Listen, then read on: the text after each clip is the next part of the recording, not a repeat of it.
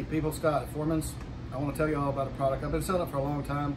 I kind of forget about it. I'm kind of used to it, and, but I've had a couple customers recently say, "Oh my God, thank you, thank you, thank you." It's called Cetyl M. It is a natural, holistic, anti-inflammatory for your pets. No drugs.